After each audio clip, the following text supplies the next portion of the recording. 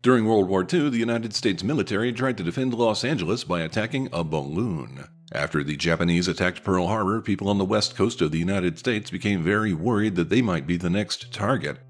On February 24, 1942, the Office of Naval Intelligence claimed that a Japanese attack on California was possible within the next 24 hours.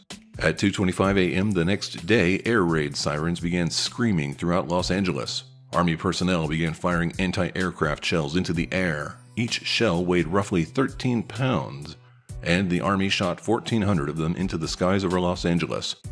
No Japanese targets were hit, but several buildings were destroyed. Three people died in car accidents caused by the artillery fire, and the excitement triggered fatal heart attacks in two more victims. In 1983, the Air Force reported that the radar contact which triggered the alert was probably just a weather balloon.